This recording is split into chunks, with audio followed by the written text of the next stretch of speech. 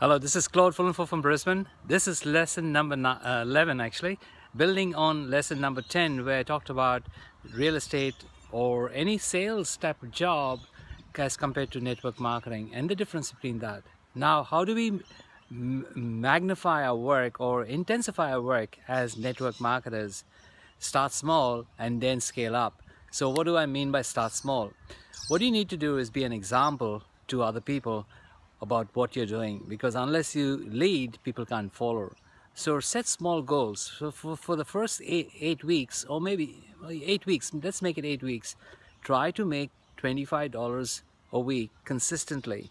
This $25 a week doesn't have to come from from direct sales like so if you recruit someone and and there's commissions because you've recruited them that's not counted here this $25 is over and above that coming from repeat orders that customers or even distributors put place with the company and the result of that is $25 minimum a week. Now the, the, the, the, the punishment if you don't get that must be you need to buy some products to bring the dollar amount up to 25. So we obviously don't want to spend our own money to earn money so we rather go out and get some sales get customers to buy and repeat orders so we can get $25 a week. While this is happening so something is happening behind the, the scenes. These customers love your your products and some of them may also want to have the opportunity that you are in. And then all you have to do is to share with them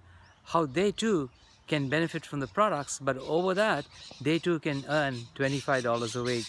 So you teach them now how they can earn $25 a week. If you do that your income will jump. The residual stream of income is not counting people buying products in business packs and you know one-off uh, products. Your income jumps eight times a week. So your your team say if you have four people and you teach them to earn $25 a week, uh, theoretically, your income should magnify and be much more than that.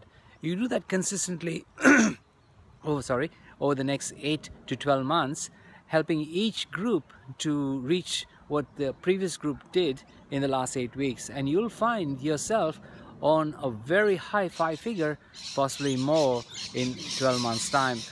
I've learned this from a very successful distributor and I am now teaching my team to do exactly this.